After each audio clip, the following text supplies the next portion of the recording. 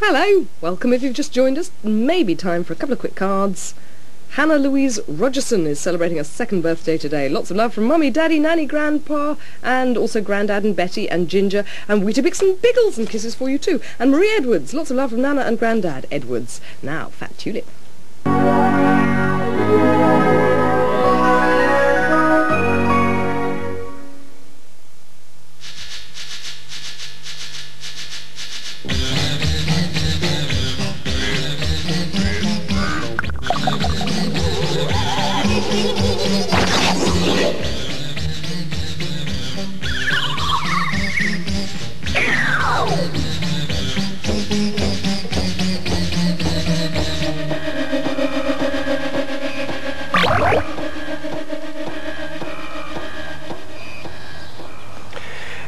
Have you ever watched a tortoise jogging? It's very, very boring because tortoises are so slow. Lewis Collins the tortoise was jogging through Fat Tulip's orchard. What? What are you doing that for? asked Ernie the frog. To keep fit, replied Lewis Collins, in case the garden's attacked. What? Who'd want to attack us? Giants and ogres and aliens from outer space, replied Lewis Collins. You have to be very fit to fight aliens. Look, see how quickly I can run to that apple tree and back.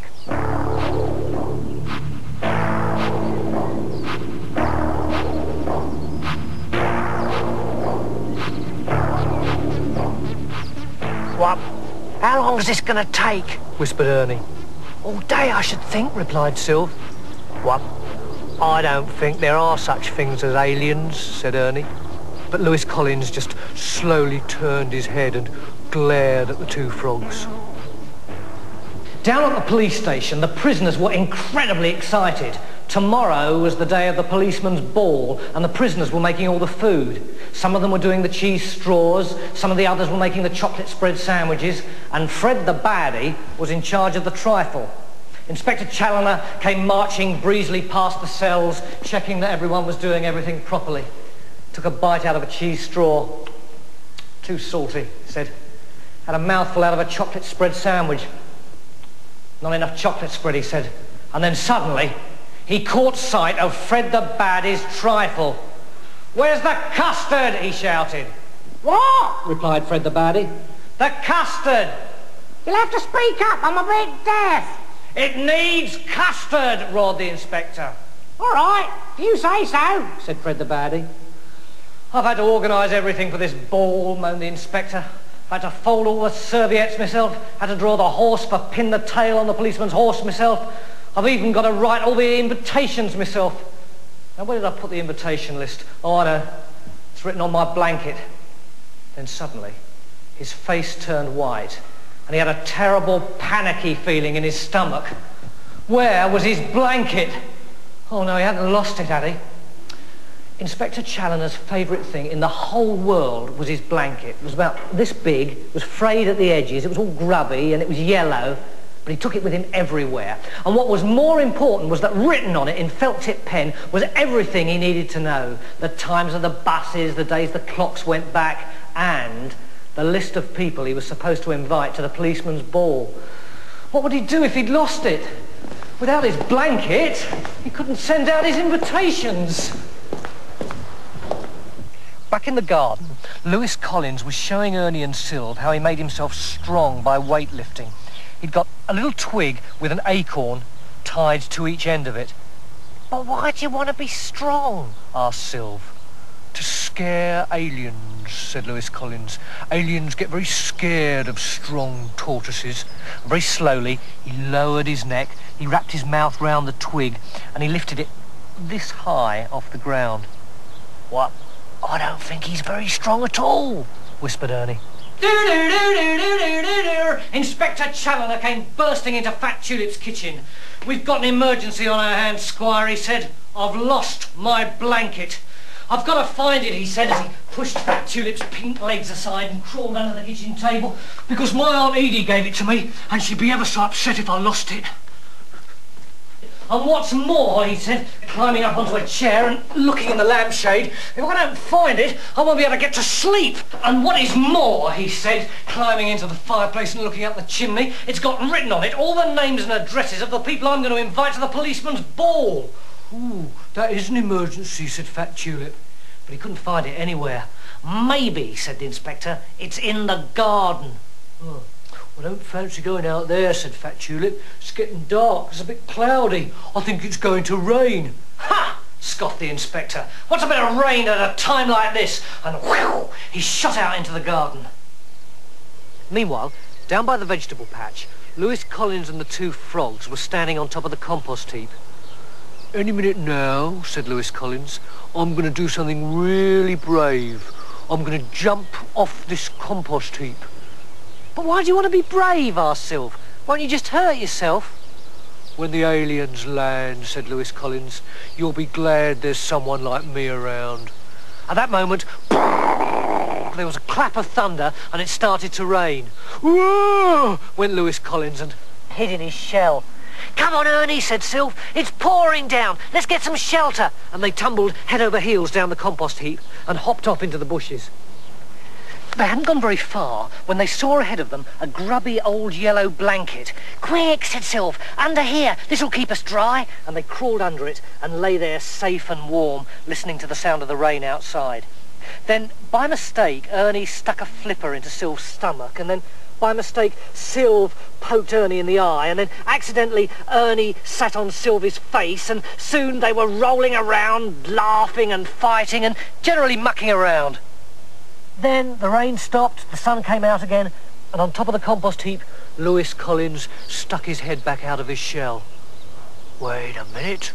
Where were those two young frogs? He'd better find out where they were before they came to any harm. He raced down the compost heap as quickly as he could, which was incredibly slowly, lumbered across to the bushes and peered inside. Ahead of him, he saw a grubby old yellow blanket that was writhing and wriggling and making noises. Is it an ogre, thought Lewis Collins, or a giant? No, it's an alien. Then, from underneath it, he heard a voice going, What, back in! What, help! Stop squashing me! It was the voice of Ernie the Frog. Great Scott, thought Lewis Collins. The alien's squashing Ernie Frog. Pretty soon he'll be as flat as a hedgehog on a motorway. And very cautiously, but very bravely, he edged a bit nearer to the alien and he said in a loud voice, Alien, go back to your own planet and leave our young animals alone. But the alien didn't take any notice. It just kept on writhing and wriggling and giggling. Alien, said Lewis Collins, if you don't fly off immediately, I'll have to get tough. But still, the alien didn't take any notice. Right, said Lewis Collins, you've asked for it. I'm going to blow you off into outer space. And he took in a deep breath. At that moment, a huge shadow fell across the blanket as Inspector Challoner peered through the bushes. My blanket, he said. My lovely yellow blanket. I've found it. What a relief. And he bent down to pick it up. Lewis Collins blew. At the same time, the inspector's unseen hand clutched at the blanket and whee! It went flying into the air. I've done it, shouted Lewis Collins, and he watched in amazement as the yellow alien rocketed off and disappeared out of sight. That'll teach you to come messing around with tortoises, he said. Then he turned to the two young frogs who were lying blinking in the sun now that their shelter had vanished. Panic's over, chaps, he said. You're safe now. May the force go with you. And he lumbered off. Ernie and Sylve didn't say anything. Sometimes there was just no point arguing with Lewis Collins. Next day was the day of the policeman's ball, and all the invitations had been sent out, so everybody was there. All the policemen and policewomen, all the prisoners, and of course Fat Tulip. They played pin the tail on the policeman's horse, policeman's knock, murder in the dark, and then it was time for the food. Inspector Challoner proudly gave everybody a dollop of trifle, and then they all sat down to eat. Ooh, went Fat Tulip, and he took a swigful of orange squash. Ooh, went all the police women and they fanned their mouths with their notebooks. Off went all the policemen and they spat in their helmets. Who has put mustard in the trifle? Me, said Fred the Baddie. Inspector Challoner told me to. I said custard, not mustard, replied Inspector Challoner. Oh, sorry, said Fred the Baddie. I'm a bit deaf. I thought you said mustard. Went all the prisoners. Custard for mustard, mustard for custard. a good joke. And they laughed and they laughed and they laughed till it was time for them to go back into their cells.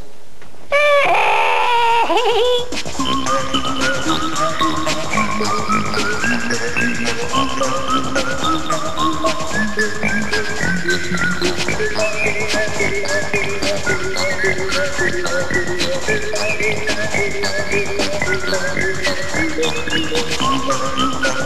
you.